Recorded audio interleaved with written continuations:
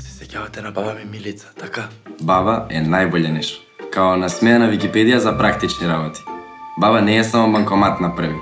Таа е супер херој. Каде е флеката? Како го направила? А што правиме ние со нашите супер херои?